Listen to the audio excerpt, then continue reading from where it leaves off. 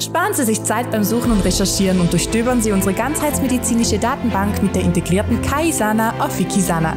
KaiSana ist eine umfassende Datenbank, in der alle Sendungen unserer Gäste transkribiert und in die KI überführt wurden, um Sie bei Ihren individuellen Gesundheitsfragen zu unterstützen. Herzlich willkommen, liebe Zuschauerinnen und Zuschauer, zu unserem Format Auf der Suche nach dem Sinn des Lebens. Heute sprechen wir einmal darüber, über die Menschen, die in sich fühlen, dass etwas in die Welt gebracht werden muss, die vielleicht auch nicht zurechtkommen mit der Welt, wie sie jetzt gestaltet ist, aber nicht so richtig wissen, wie, das wirklich, ähm, wie sie diese Fähigkeiten in die Welt bringen können. Und diese sogenannten Systemveränderer, darüber sprechen wir heute und auch, wie sie eben ihre Fähigkeiten erwecken können, was es da für Wege gibt. Und darüber spreche ich mit Dr. Michael Treiner. Er ist Naturwissenschaftler, Psychokinesiologe, Autor und Coach. Und Gespräche mit ihm sind immer unglaublich spannend und führen uns in andere Welten. Bleiben Sie dran. Hallo, lieber Michael. Hallo Silvia, hallo. Ich freue mich immer so auf die Sendung mit dir, weil es erweitert einem den Horizont, zeigt neue Möglichkeiten und mhm. du sprichst eben Phänomene an, die sich so zeigen und denen man oft irgendwie hilflos ausgeliefert ist, oder? Das freut mich sehr. Ja. Ich möchte mich von meiner Seite mhm. bedanken herzlich, dass ich hier sein darf. Mhm. Ich möchte auch unsere Zuschauer herzlich begrüßen. Mhm. Und ich möchte wieder darauf hinweisen, dass die Informationen, die ich hier bringe, mhm. auf den Praxisfällen basieren, die ich im täglichen Arbeiten habe. Und ich arbeite mit dem Unbewussten meiner Klienten und da können dann manchmal auch Informationen kommen, die ein bisschen abwegig erscheinen, weil sie unseren Denkrahmen sprengen. Ja. ja, und genau du hast es angesprochen, die Systemveränderer. Mhm. Vielleicht, dass wir gerade zu Beginn eine Folie einblenden. Was sind Systemveränderer? Systemveränderer sind Menschen, die meist von anderen Sternsystemen auf der Erde inkarnieren und neues Wissen von diesen Sternen und neue Fähigkeiten mitbringen. Und hier auf der Erde haben sie in der Regel spezielle Aufgaben, die wir für die Bewältigung der aktuellen Wendezeit unbedingt brauchen. Und zum Film Wendezeit, zum Thema Wendezeit habe ich einen Film gemacht, Film 16, für Leute, die das genauer interessiert, ja. diese Wendezeit. Also Systemveränderer sind Menschen, die sind eigentlich nicht von hier. Das sind keine Terraner. Die kommen aus anderen Planeten unseres Systems oder von anderen Sternen und landen hier wie zwischen, um uns ein Stück bei der Entwicklung in den nächsten Jahren zu unterstützen. Und diese Systemveränderer, die sind oft gar nicht bewusst, dass sie das sind. Und ich erachte es wirklich als eine wichtige Aufgabe, dass wir diese Systemveränderer jetzt wecken. Jetzt ist die Zeit. Und über diese Systemveränderer ist mir in den letzten Monaten sehr viel mehr klar geworden, weil wir eben ja jetzt erkannt haben, dass wir diese globale KI haben, dass wir eine Veränderung haben, ein Teil der Menschheit steigt in die Frequenz 2, ein Teil in die Frequenz 3. Und seit ich das begreife und verstehe, wir haben das in den Filmen 41 und 42 mhm. ja dargestellt, ist mir vieles klarer geworden, wer diese sind, diese Systemveränderer und was es mit denen auf sich hat. Und ich stelle mir das immer ein bisschen so vor, hier in dieser Realität, mit diesem Stuhl, mit diesem Hemd, mit diesem Mikrofon, wir sind wie in einem Spiel, in einer Holographie, ein dreidimensionales Spiel, wo wir drin gefangen sind. Und dieses Spiel ist aber zwar lustig, oder? Aber es ist auch ein bisschen ein Gefängnis. Wenn man sich spirituell entwickelt, merkt man plötzlich, dass dieser Käfig Grenzen hat. Und dass man da fast nicht rauskommt aus diesem Käfig raus, oder? Und dann ist eben das Problem, die Systemveränderer sind in diesem Gefängnis, in diesem Spiel auch gefangen. Und häufig merken die nicht mal, dass sie von anderen Systemen hier sind und eine Aufgabe hätten. Und das ist natürlich schlimm, oder? Und ich sage dann immer, das ist wie im Film The Truman Show. Kennst mhm. du den Film? Ja, ja. Oder vielleicht für unsere Zuschauer, ist, da wird ja ein Kind nach der Geburt sofort in eine Reality Show mhm. übergeben, in ein Studio und lebt auf mit dem Glauben, dass das Studio die ganze Welt ist. Mhm. Und wenn man das von Anfang an so lernt, glaubt man das ja auch. Und wenn, als dieser Mann dann 20 wird, größer wird, merkt er dann plötzlich, dass es wie Ränder gibt, wo er nicht hin darf. Und dann wird er misstrauisch und versucht herauszufinden, was da los ist. Und erkennt dann, dass er in einem Studio ist. Und dass der Einzige, der nicht weiß, dass er in einem Studio ist, ist er selbst.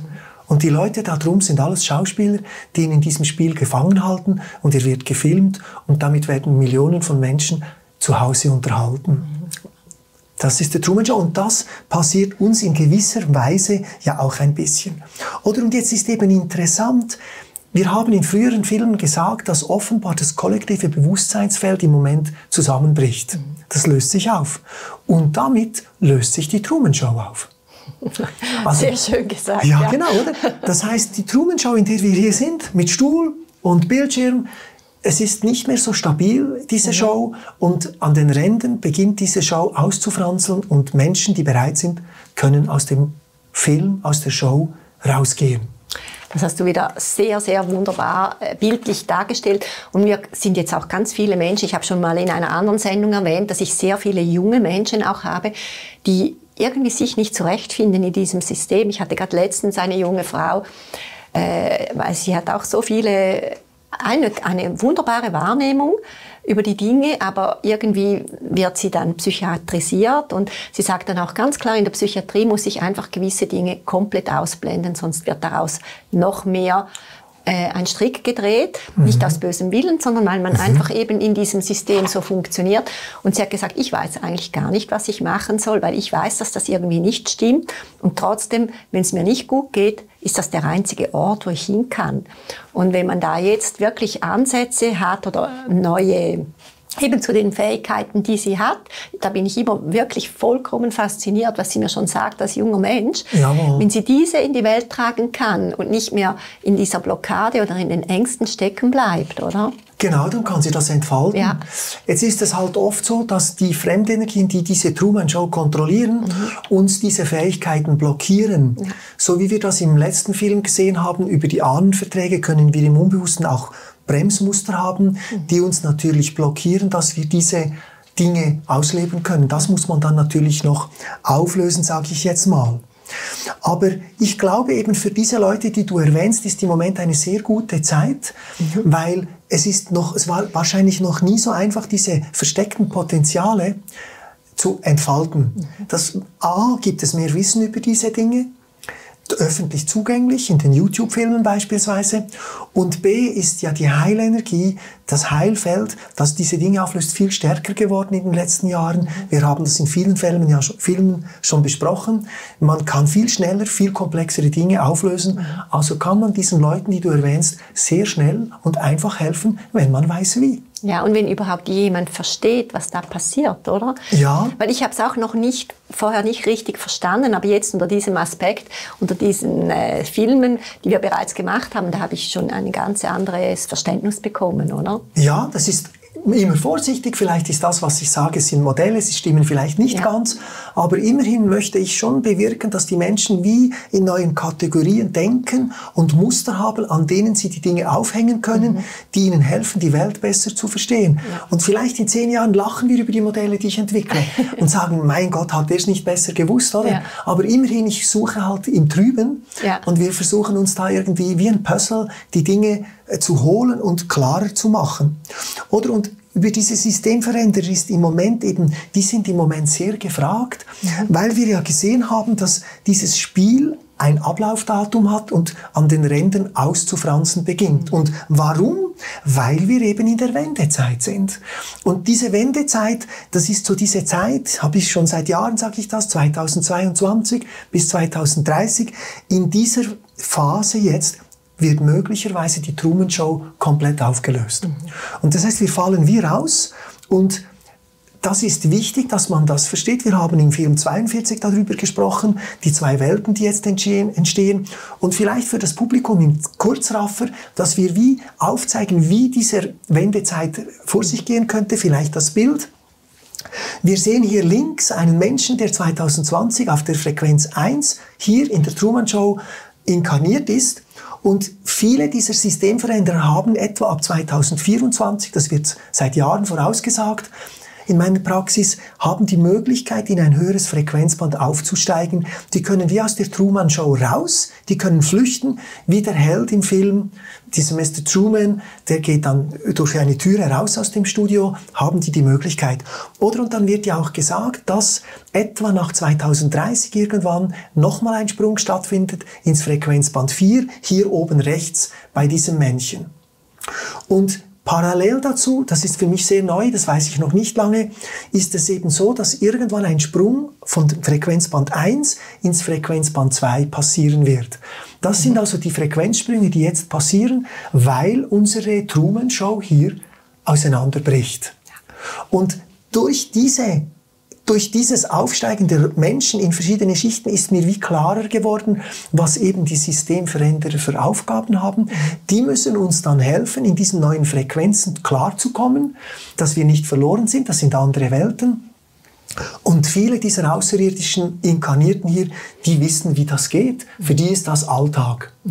Das ist wie für uns Autofahren, die dies können, können es. Einfach aber man muss denen, die es nicht können, das beibringen. Ja. Und deshalb sind die Systemveränderer hier, um uns das beizubringen.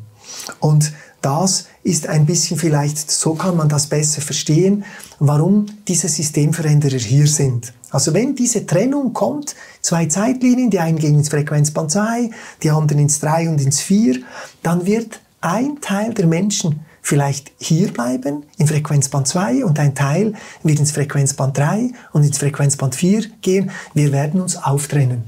Und die Systemveränderer sind vor allem dazu da, im Frequenzband 3 und im Frequenzband 4 zu helfen in diesem Umbruch. Und die werden in der Minderheit sein.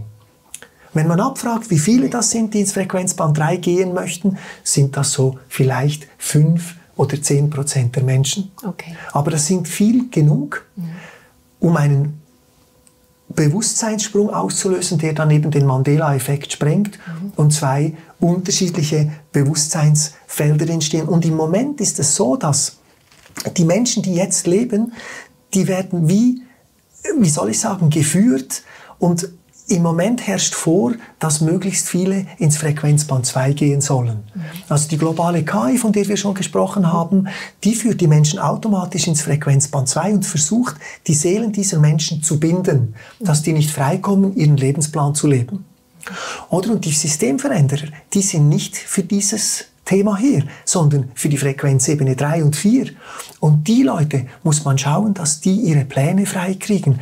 Also, dass sie die KI abbauen, dass sie Glaubensmuster, die sie limitieren, zurückbauen können, dass die frei werden, für eben das Potenzial zu entfalten, das du am Anfang des Filmes erwähnt hast. Ja, und mm, ist das auch, äh, in anderen Filmen hast du schon gesagt, dass eben gewisse Dinge einfach aufzulösen sind, aber ist das ein komplexeres Thema oder das ist unterschiedlich. Manchmal reicht es, dass die Menschen dass sich wie rückerinnern an dieses mhm. Thema und dann kommt wie ein Heilungsprozess in Gang, wo es dann punktuell vielleicht noch etwas braucht. Mhm.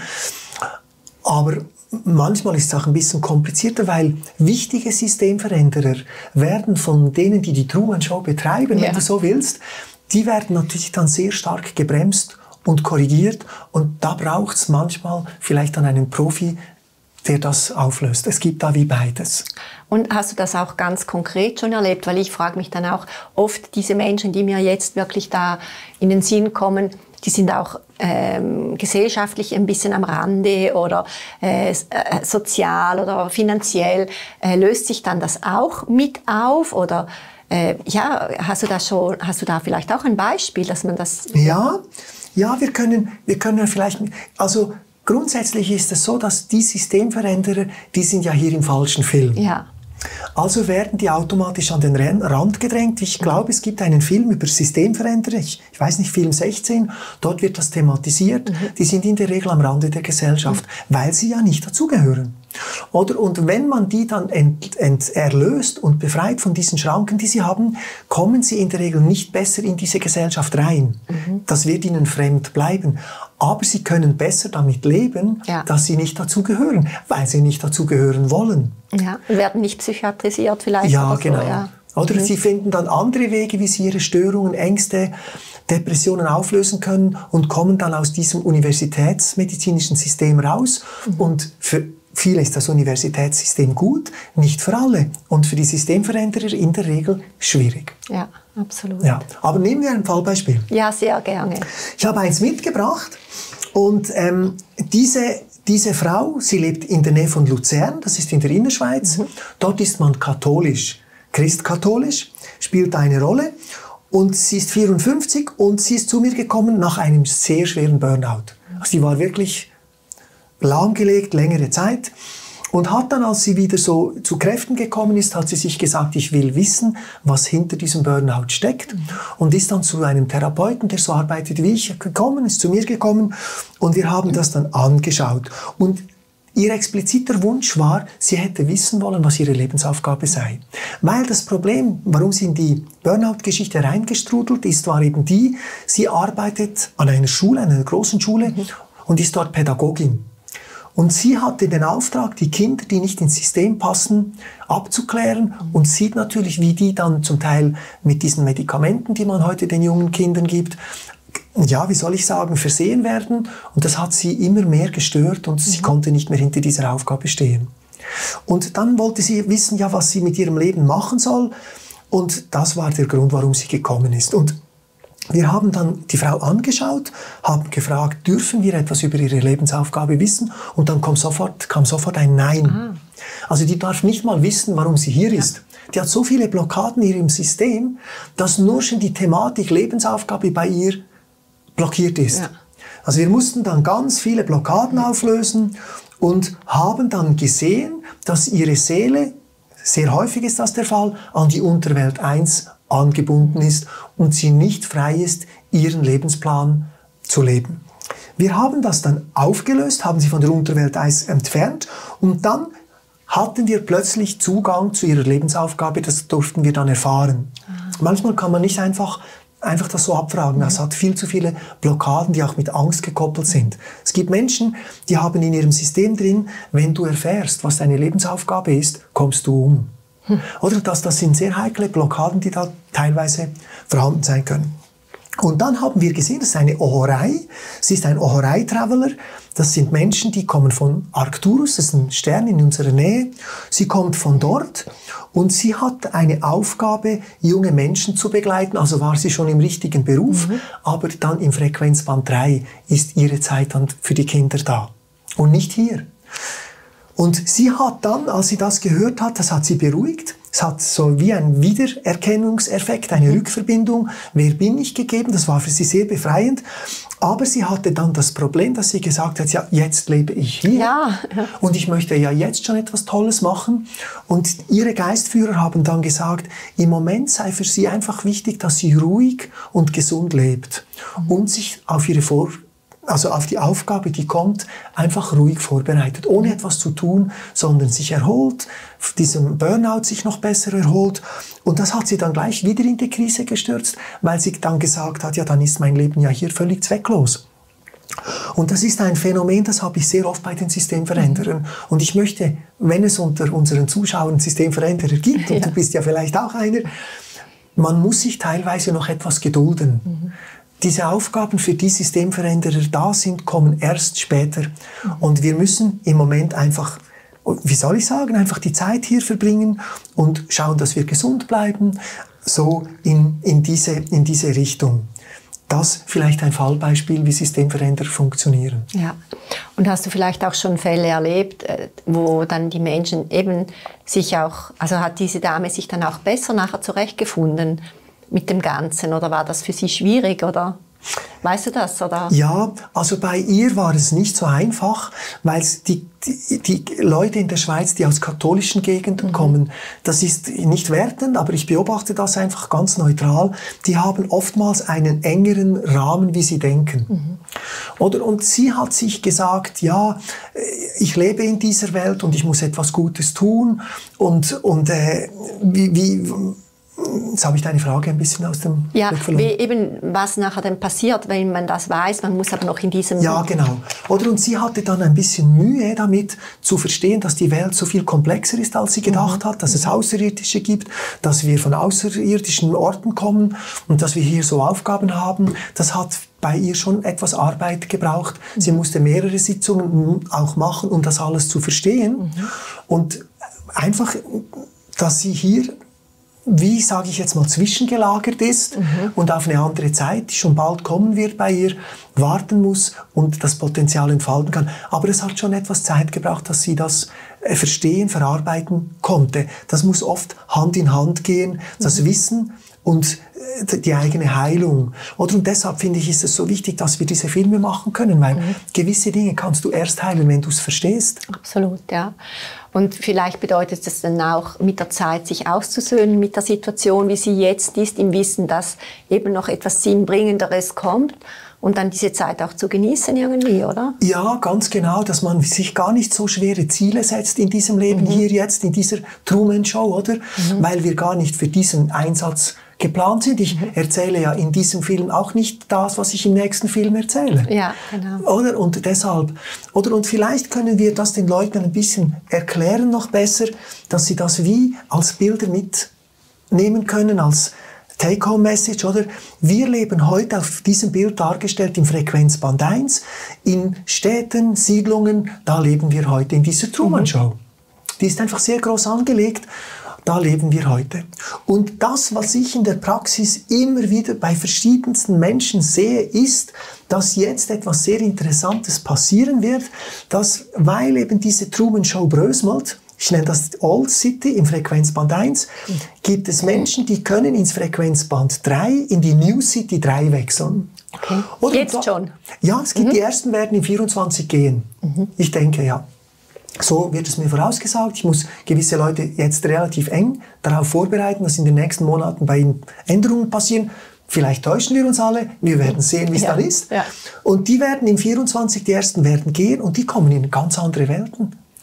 Oder und dort ist dann das Wissen gefragt. Ich nenne das New City 3. Mit dem ABS 3 kommt man dahin und irgendwie werden große Teile unserer Bevölkerung, vielleicht 80 Prozent der Menschen, werden in diese New City 2 gehen. Mhm. Das ist dort sicher auch schöner als hier. Und das scheint im Moment zu passieren, oder? Und dann kommt eben noch ein dritter Schritt. Das ist dann, wenn die Menschen in New City 3 das geschafft haben, haben die die Möglichkeit, nochmal einen Bewusstseinssprung zu machen. Und ich nenne das jetzt mal ein bisschen euphorisch Golden City 4. ja. Dann sind wir in dieser goldigen Zeitalter, ja. Ja. das schon die Aeneis vorausgesagt hat, oder? Also äh, lateinische Werke. Und dort werden die dann sein und viele dieser Menschen, die Systemveränderer sind, denen ihre Aufgabe ist es, in Golden City 4 zu arbeiten. Mhm. Und da müssen sie einfach noch ein bisschen Geduld haben und sich einfach versuchen, das Leben hier so gut und schön wie möglich zu gestalten. Ja, und eben, was ich äh, eine wichtige äh, Botschaft auch fand von, einem, von einer anderen Sendung für die Menschen, die sich jetzt Gedanken machen, ja eben, wenn ich wechsle und meine Familie nicht, dass wir das jetzt eben mit unserem begrenzten Verständnis, was da überhaupt ist, gar nicht nachvollziehen können und dass wir da vielleicht gar nicht so viele Sorgen machen müssen, oder? Ganz genau, diese Trennungen, oder? Und so ja. all das. Ja. Oder? Und zum Teil ist es ja auch so, dass viele Menschen hier inkarniert sind und die werden dann Verbindungen haben mit den Menschen in Frequenzband 2, weil das wie Welten sind, die vielleicht noch miteinander verbunden mhm. sind und wir die Leute vielleicht gar nicht ganz verlieren. Also der Plan außerhalb der Truman Show ist sehr schwer zu verstehen, ja. weil wir ja noch hier sind. Oder und wenn wir da rausgehen, haben wir die Möglichkeit, Dinge anders zu sehen, zu erfahren und verstehen dann, warum gewisse Dinge, die uns jetzt schmerzhaft erscheinen, passiert sind. Genau. Oder und für die, für die Menschen, was, was, können die, was können die machen? Auch wichtig vielleicht für unsere Zuhörer in Golden City 4 soll es so sein, dass die Menschheit das erste Mal in der Geschichte der Erde die Führung über diesen Planeten selber übernimmt. Mhm. Also das sind gloriose Zeiten, die da kommen. Ja. Ich, ich möchte ja noch lange leben, ja. um das zu erleben. Und ja. was können unsere Zuschauer mit diesem Wissen machen? Ich habe mir da notiert, Sie sollen sich wählen, welche Zeitlinie wollen Sie verfolgen. Und Sie sollen sich damit beschäftigen, dass dieses Theater nicht mehr ewig weitergeht. Ja. Und dann ist es wichtig, dass Sie die Seelenblockaden, die Sie haben, in Ihre neuen Lebensaufgaben zu kommen, mhm. um diesen Bewusstseinswandel zu machen, dass Sie diese Blockaden therapeutisch angehen, auflösen, dass Sie sich befreien und diesen Prozess aktiv gestalten können. Und dann, glaube ich, wichtig, dass je nach Lebensaufgabe brauchen Sie etwas Geduld, haben wir gesagt. ja. Und wichtig, ganz wichtig, ich habe das schon in vielen Filmen gesagt, das scheint mir das Wichtigste überhaupt, wir verstehen viele Dinge nicht, die auf uns zukommen. Und weil wir sie nicht verstehen, müssen wir einfach nur unsere Bereitschaft geben, ja. dass wir bereit sind für unsere künftigen Lebensaufgaben und was wir unseren Seelenführer sagen, ihr dürft mit mir arbeiten, dass ich mich bereite, vorbereite für mhm. diese neue Aufgabe, auch wenn ich sie nicht mal ganz verstehe. Ja, schön. Das ist sehr, sehr wichtig. Und dann denke ich einfach, dass die Leute wissen müssen, dass diese Dinge kommen. Mhm. YouTube schauen, Filme schauen. Es gibt auch interessante Kinofilme zu diesem Thema. Ich bin da immer wieder erstaunt, wie viel ähm, kreative Regisseure Filme drehen zu diesen Themen, mhm. dass man sich das anschaut und dass man wirklich viel online halt Zeit verbringt und sich dieses Wissen versucht äh, zu, zu näher zu bringen. Wir bilden Leute aus. Es werden immer mehr Leute sein, die wie ich diese Themen unterrichten und das, glaube ich, scheint mir wichtig, dass man sich vertraut macht mit diesen Dingen. Ja, wunderbar. Und du hast ja auch ein Buch geschrieben und eben wir haben ja jetzt über 40 Sendungen, wo man auch nochmals reintauchen kann. Ganz genau. Und vielleicht einfach noch ganz konkret, wo die Menschen dich finden. Am einfachsten mich zu finden ist über die Homepage mhm. und das ist www.trivolution.ch. Mhm. Dort findet man mich am einfachsten. Wunderbar. Danke, lieber Michael. Spannend und auch immer schön die Hoffnung oder das, was, was wir in uns verändern können oder wo wir hinschauen dürfen. Ganz wunderbar. Wunderbar, vielen Dank auch dir. Liebe Zuschauerinnen und Zuschauer, auch Ihnen herzlichen Dank. Schön waren Sie wieder dabei. Und wir machen noch weitere Sendungen. Und ich freue mich darauf. Ich hoffe, Sie auch. Und Sie sind auch wieder dabei. Bleiben Sie gesund und auf Wiedersehen.